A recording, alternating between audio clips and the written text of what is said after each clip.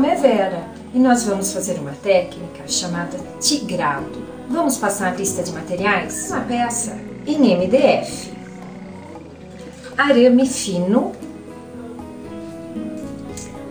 tintas PVA nas cores preto, tulipa,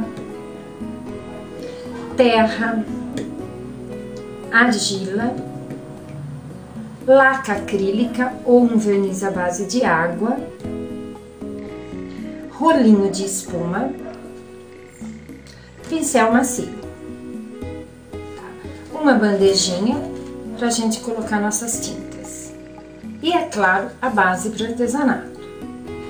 Então tá, vamos na execução da nossa peça, amiga que eu já fiz aqui? Eu já adiantei pra gente daí de casa, o básico, que eu acredito que você que está me assistindo já sabe fazer. Eu passei a base para artesanato na minha peça em MDF. Sequei, dei uma lixadinha e vim com o nosso PVA preto. Ela vai ficar assim, todinha preta. Deixei ela secar, vim com a minha laca acrílica nela toda. Feito isso, a gente vai aguardar o tempo de secagem natural. Quanto tempo, Vera? Depende muito, meu bem. Depende da região onde você está, do tamanho da sua peça. Deixou secar, coloca o dedinho. Não ficou só digital, tá 100% seca. Então, ok. Qual a finalidade da minha laca acrílica em cima do meu preto aqui? A minha laca ou o meu verniz à base de água ele vai servir como um isolante de cor. Para quando eu vier com uma outra cor, com, as, com os PVAs coloridos sobre ela, ela não vai se misturar com o preto de baixo. Então tá, fizemos isso. Então ela já tá 100% seca e invernizada. Então ok, reservo. Pego na minha bandejinha, olha aqui, então a gente vai colocar aqui, ó, reservo minha caixinha e vou colocar os meus PVAs coloridos. Como que eu fiz? Aqui eu coloquei meu terra, a minha cor clara e a minha outra cor argila. Lembrando que sempre no centro a cor mais clara, nunca inverta. Então tá, fiz isso na minha bandejinha. Então reservo a minha bandeja. Com a nossa tinta já reservada, nós vamos usar nosso bolinho. Vamos preparar nosso bolinho. Arame fino, vou cortar um pedaço, não tem uma medida necessária. Nessa parte do bolinho, eu pressiono a minha espuma e passo o arame. Viro. Isso aqui, viro assim. Feito isso, eu venho com o arame aqui, aqui, na terceira, eu passo meu arame aqui, ó, nessa volta. E continuo. Quebro. E ele ficou levemente pressionado, ok? Então tá. Pego nossa tinta e agora sim nós vamos fazer o nosso efeito tigrado. Isso que é legal.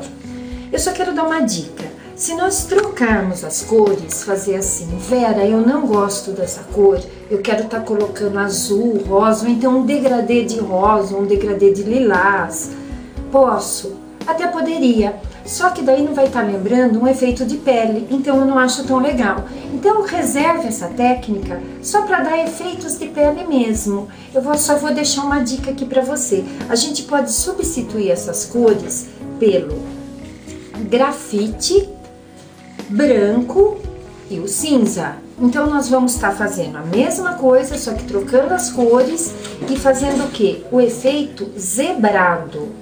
Como que é mesmo, Vera? Então tá, substitua essas cores que é do efeito tigrado por grafite, branco e gelo ou cinza, tá? E vai seguir o mesmo processo que a gente vai estar fazendo agora. E você vai estar com a mesma técnica o efeito zebrado.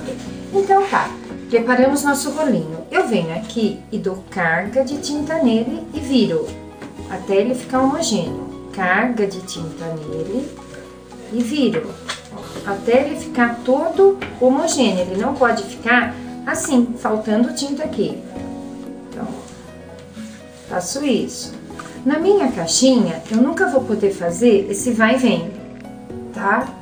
Então, é só uma vez que eu passo. Vem aqui, ó, carga de tinta nele.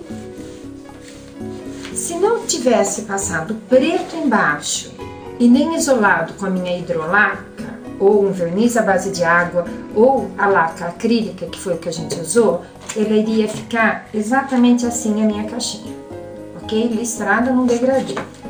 Então, ó, vem aqui e pressiona. E agora que é o legal, reserva a minha bandejinha. Ela pra cá e a gente vai estar tá fazendo o nosso efeito aqui. Eu escolho se eu vou ou se eu venho. Pressiona e fazemos o nosso efeito. Isso que eu acho legal. O preto lá embaixo, com os furinhos da espuma, ela vai lembrar a porosidade da nossa pele. Então, ó, venho aqui e riscou. Isso é legal. Por que que riscou, Vera? Porque eu não pressionei o rolinho. Então, a gente reserva isso. Vem aqui, quer ver agora? Pressiona o rolinho e vai. Pressiona o rolinho e vai, ó. Então, nunca empurra o rolinho, sempre pressiona e vai, certo? As laterais, põe em cima e puxa, põe em cima e puxa. Certo? Essa técnica ficou muito legal em peças indianas, tá? em baús. Então, é um diferenciado que a gente dá na nossa caixinha. Isso eu acho muito legal tá? Você a gente esquece aquela famosa decopagem que vai estar tá colando papelzinho. Então vamos mudar um pouquinho. Então você vai fazer a mesma coisa com as cores preto, certo? Vai ter o preto no fundo, substituindo para fazer o zebrado. Grafite, branco e gelo e você vai ter o seu famoso zebrado. Feito isso, a gente espera secar no mínimo 6 horas, não acelera a secagem. Deu seis horas, passa novamente a sua laca acrílica e acabou a sua caixa, ok? Então fica aqui hoje dada a nossa técnica do zebrado para você brincar, ok? Então até a próxima!